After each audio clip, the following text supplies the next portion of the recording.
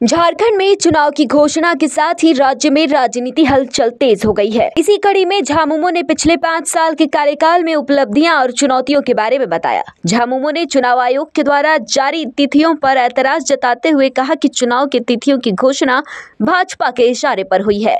झामुमो केंद्रीय महासचिव सुप्रियो भट्टाचार्य ने कहा कि पहले हरियाणा का चुनाव महाराष्ट्र के साथ होता था, लेकिन इस बार हरियाणा में अकेले चुनाव कराया गया और झारखंड महाराष्ट्र महाराष्ट्र एक साथ हो रहा है। यह बताने को काफ़ी है कि किसके इशारे पर चुनाव आयोग काम कर रही है। उन्होंने 2005 में आई फ़िल्म बंटी और बबली को याद दिलाते हुए दोनों ने ताजमहल को बेचा था। वैसे ही वर्तमान में बंटी और बबली यानी भाजपा और चुनाव आयोग हो गए हैं, जो लोकतंत्र और जमहूरियत को बेचने में लगे हैं। आगामी विधानसभा का चुनाव कब होगा?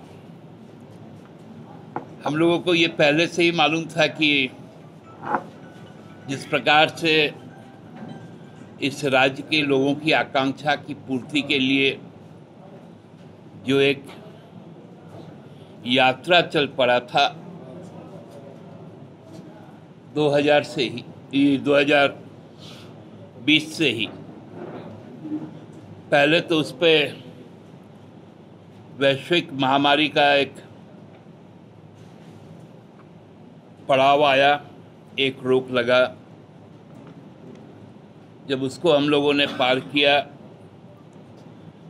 तो सरकार गिराने का, षड्यंत्र रचने का, केंद्रीय एजेंसियों को यहाँ पर सक्रिय करके, राज्य सरकार के कामकाज में रोड़े अटकाने का, वो एक दौर चला, हुआ। इस बार हरियाणा का चुनाव अकेला हुआ, आप सबको याद होगा कि आज लगभग आठ नौ दिन बीत गए। विधानसभा चुनाव के बाद, नतीजे आने के बाद, न विधानसभा का गठन हो पाया, न नई सरकार का गठन हो पाया। लेकिन चूँकि 26 नवंबर आपको महाराष्ट्र विधानसभा का कार्यकाल को समाप्त होना है, उसके पूर्व गठन होना है। हमारा पाँच जनवरी को है, मैंने पहले भी कहा था। तो इसलिए दोनों को क्लब कर दिया गया। ये आशंका हम लोगों को थी और मैंने माननीय चुनाव, मुख्य चुनाव आयुक्त जब यहाँ पर आए थे, उनको कहा था कि आप ऐसा ही करने जा रहे हैं। और आपसे भी बात करते हुए हमने कहा था कि भाई देखिएगा, दो चरण में चुनाव होगा। और तेईस चौबीस तारीख तक रिज़ल्ट आ जाएगा। क्योंकि अब मैं भी भाजपा को पढ़ने लगा हूँ, भाजपा को समझने लगा हूँ। 2005 में एक फ़िल्म आई थी। फ़िल्म का नाम था बंटी और बबली। वो बंटी बबली फ़िल्म में दोनों के कारामात से उन्होंने ताजमहल तक को बेच दिया था। और भाजपा और ईसीआई नया बंटी और बबली। अब ये पूरे जमहूरियत को बेच दे रहे हैं। लोकतंत्र को बेच दे रहे हैं।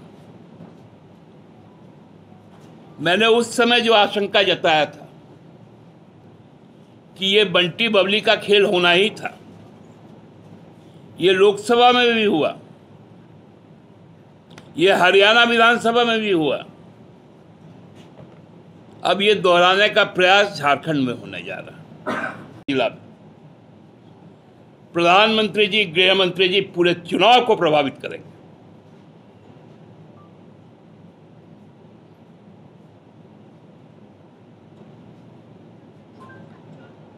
और केवल उसका दायरा हजारीबाग नहीं रहेगा, उधर कोडरमा भी रहेगा, इधर गिरिडीह भी रहेगा।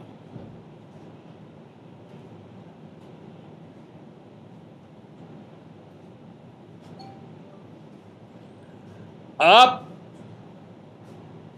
रामगढ़ में खड़ा होकर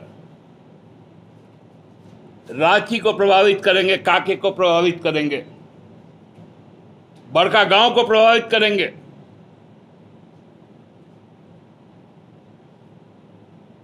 क्योंकि पतरातु तक के सीमावर्ती तक इधर काके है, इधर रामगढ़। खेल वहाँ छुपा है।